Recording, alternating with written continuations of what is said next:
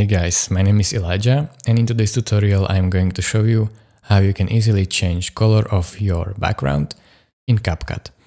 So first thing you need to do is import your image. So let's say this one.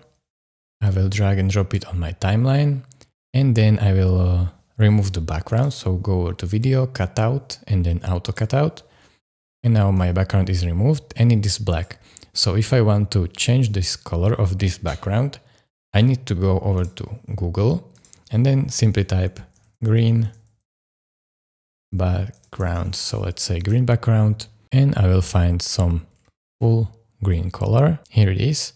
And then I will bring it to my folder. So I will download it, then go to CapCut, move this clip upwards, go over to import and import your background color and then simply press and drag and drop it underneath your clip.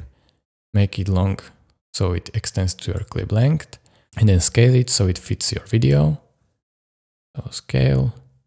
And now as you can see, I have successfully changed background of this clip. You can change to any color that you like, just add it from your Google and it's done. Thank you guys for watching. If this video was helpful to you, consider subscribing and liking this video. And I will see you in the next one. 拜拜。